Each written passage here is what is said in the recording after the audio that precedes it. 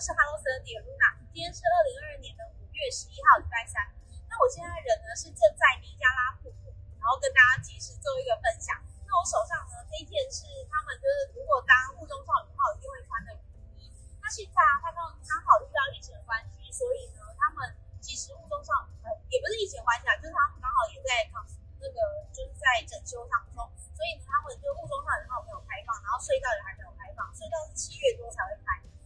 那所以他们现在刚好也有一个就是圣地情境的电影，教了他，就是跟大家分享说尼加拉瀑布的形成的一个蛮可爱的短片动画。所以呢，因为它也会有喷水啊、喷冰啊那些的东西，所以它还是要穿着雨衣防外衣，也算是有圣地情境吧。那我们今天就是主要也是因为有参观尼加拉水院，它有蛮多的水院，然后也有见到蛮多旧同学，他们也都有分享一下，这些学长姐也都觉得尼加拉水院是。就是待起来感受非常棒，所以他们也非常希望我多找一些学弟妹来，所以我就也跟大家就看一下现在的环境。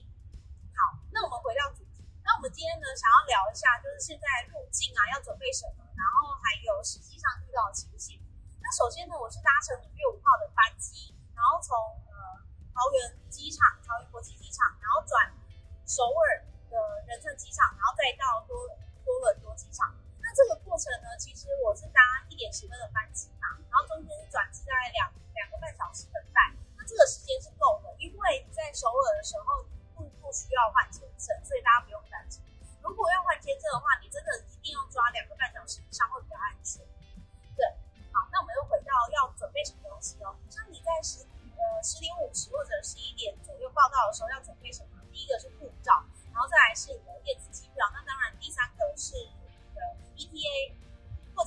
签那些的，然后免签的话，当然就是 ETA 就好。但是 ETA 不管如何，你一定要准备，不管哪一种签证哦，你一定要有这个东西。然后第四个的话呢，是你的完全疫苗接种证明，就是你至少要打过两剂有效、他们认可的疫苗，像是呃辉瑞啊、莫德纳或者 AZ 都是有认的，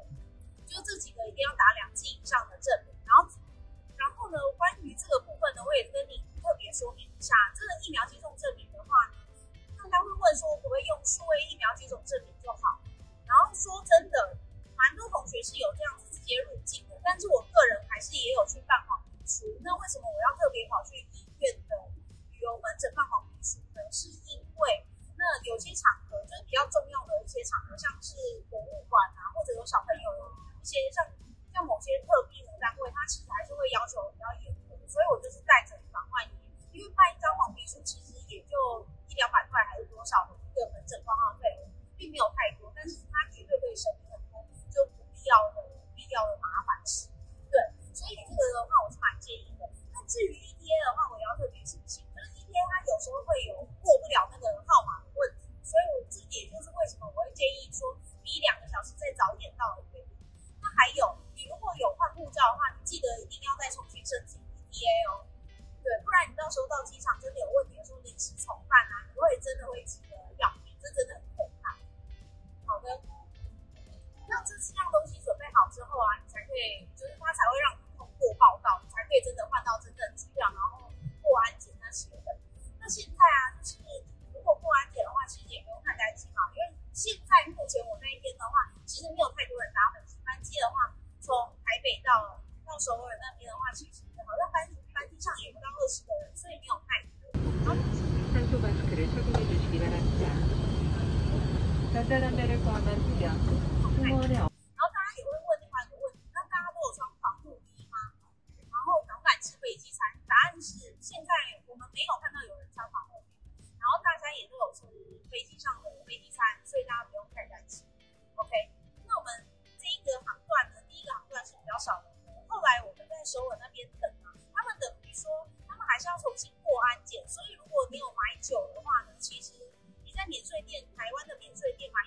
因为你在考在首尔那边的机场是你还要再过一次那个安检，所以呢，一体的东西就不能带，大家要特别注意。如果你要带酒的话，你可能还是要放那个大行李箱，可是这个就我觉得是有有点难度啊，所以大家考虑一下。那另外在就是在首尔那边的话，他也会叫你重新报到一次，所以。他可能会叫会，把你的名字变得很奇怪，你要听清楚。然后呢，他还是要重新叫你看一次的